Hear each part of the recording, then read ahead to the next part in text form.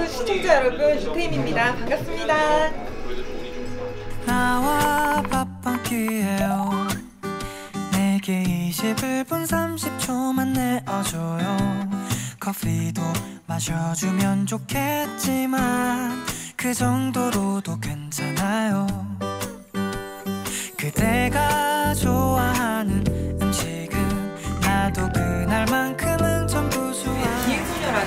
예능 프로그램 촬영하면서 좀 쉬고 있어요.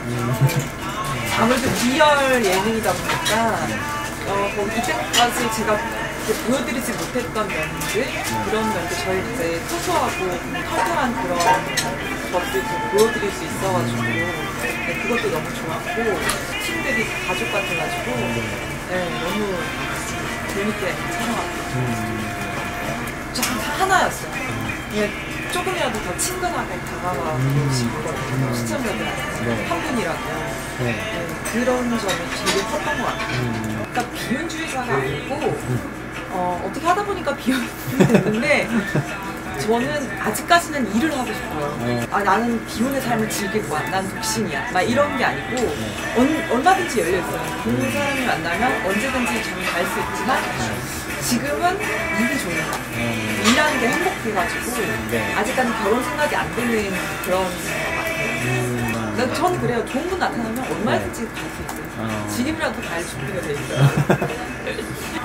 정신적으로 이렇게 기댈 수 있는 그런 듬직한 남자였으면 좋겠어요. 저보다 되게 어른스럽고 음, 깊이 생각할 줄 알고 음, 배려심이 그런 많은 그런 멋진 남자였으면 좋겠어요. 그러니까 일하는 거 제외하고는 항상 집에 있어요. 연예인이 되고 제 이름이 어느 정도 알려지고 그러다 보니까 어떻게 저도 모르게 이렇게 소극적이게 되겠더라고요. 아. 밖에 나가서 누군가를 만나고 그런 것들이 점점 부담스러워지면서 자연스럽게 활동 반경이 적어진 것 같아요. 아, 아, 한 달. 한 달? 네. 한 달도 안, 나- 안 나가요? 안 나가. 어. 배송을 해주거든요. 네. 그걸로 생필품 다 시키고 어. 한 달간 정말 꼼짝 안 하는 거였어요. 정말로. 한달 있으면 후유증 같은 건 없어요, 전혀 없어요. 아, 전혀 없어요?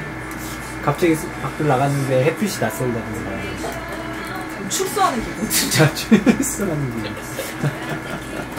어떤, 어떤 계기로 나왔어요? 아직? 일 때문에. 아, 일 때문에? 제가 이제 욕설 논란 좋아하고 나서 철이 들었어요. 저 혼자서 너무 많이 자책을 했었고 내가 인생을 아, 정말 이렇게 살면 안 됐겠다라는 생각도 들었고 그걸로 인해서 연기자로서 그 연기에 대한 것도 애틋해졌고 지나가 보니까 차라리 그 일이 내가 좀 정신이 일찍 바- 짜- 차린 건 아닌가라는 생각이 들고 그 당시에는 너무 힘들었는데 지금은 음, 웃으면서 얘기할 수 있어요. 그죠? 정말 특별했죠 지금. 저는 제 배우 인생 음악을 시작했다고 그 다음이 아닐 정도로 음, 정말 열심히 했고 그리고 이제 내가 연기에 대한 그 생각하는 것도 많이 달라졌고 음, 욕망이 생겼다고나 할까 어. 그런 것들이 많이 이제 요동치는 시기였죠 어. 대박이네요 대박이네. 네. 상도 두 개나 받고 네. 후미는 그냥 터졌죠 네. 두개 받았죠 네. 예능도 뭐 고정도 생기고 네. 또 여러 예능에 정말 많이 나왔었거든요. 음. 많이 찾아주셔가지고 네. 네, 너무 행복하고 기뻤던 한 해였어요. 음. 일단 다시 좋은 작품 다시 큰 작품 하는 게 목표고요. 이 올해만큼만 제 마음이 변하지 않기를 초심 잊지 않기를 바라는 마음이 제일 크고요. 그렇게만 하면은 언제든지 좋은 작품 다시 만날 수 있을 거라고 생각하고 그리고 못할 게 없을 거예요. 지금까지 시청해주셔서 감사하고요. 그리고 올 한해 마무리 잘 하시고요. 새해 복 많이 받으세요. 감사합니다.